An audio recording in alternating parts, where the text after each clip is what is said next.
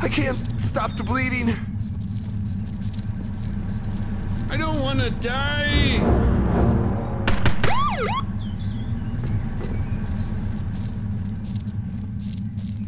Proudly made in the USA, baby.